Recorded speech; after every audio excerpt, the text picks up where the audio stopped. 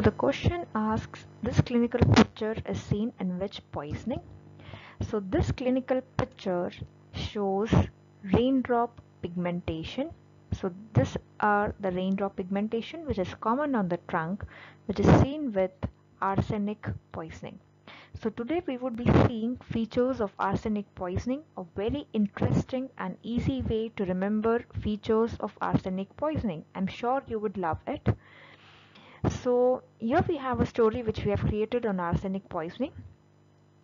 So there's a hippie female named Marsh Reinsch Gutsy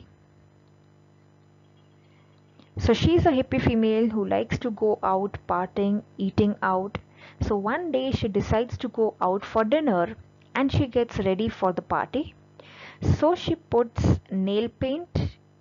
This nail paint is like the Mees lines, the Aldrich Mees lines which are seen on nails in arsenic poisoning.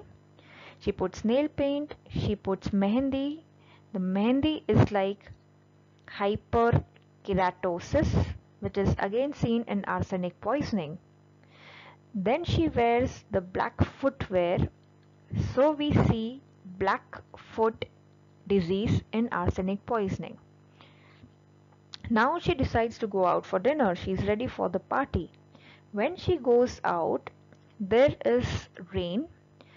So she gets raindrop pigmentation on the way because of the rainfall. So she gets raindrop pigmentation. Once she reaches the venue, she reaches the pub. She likes eating Chinese, so she orders garlic noodles. So the order is garlic order. Then we have desserts which are ordered by her. So she orders red velvet cake so red velvet is the appearance of the stomach mucosa in arsenic poisoning. So garlic order, red velvet.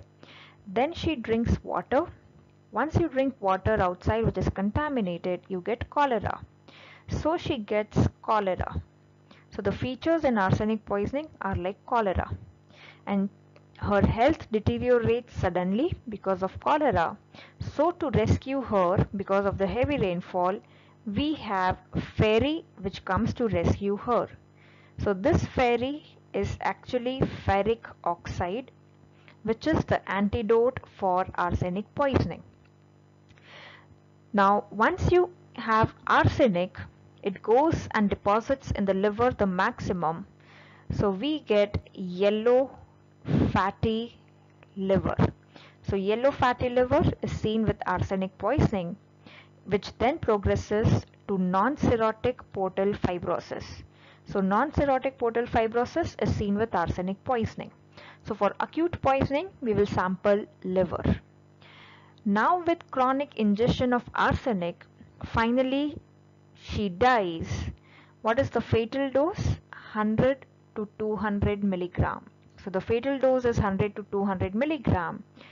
And once the patient dies, arsenic delays rigor mortis and putrefaction. So delay in putrefaction is seen with arsenic poisoning. And once the patient dies, if you want to know that it was because of arsenic poisoning, you will not take blood sample because arsenic clears from the blood very soon. You will not take liver sample, but you can sample bones, hair and nails. So remember the mummies, bones, hair and nails. So you can sample those after death for arsenic poisoning. So these are the features of arsenic poisoning. Easy way to remember. Let's revise quickly. So a hippie female named Marsh Reinsch Gutsy who likes to go out and partying. She gets ready for party. She puts the nail paint. Those are the Mees lines. She puts the mehendi that is hyperkeratosis she wears the black footwear that is black foot disease when she goes to the venue there is rainfall so she gets raindrop pigmentation in the restaurant in the pub she orders garlic noodles that is garlic odor red velvet mucosa then she drinks water so she gets cholera then to rescue her we have fairy that is ferric oxide is antidote then you get yellow fatty liver where the arsenic deposits. So acute poisoning you sample liver. Chronic poisoning or after death you sample bones hair and nails that is the mummies. Fatal dose is 100 to 200 milligrams and it delays the putrefaction or rigor mortis. So important points about arsenic poisoning very very important for your exam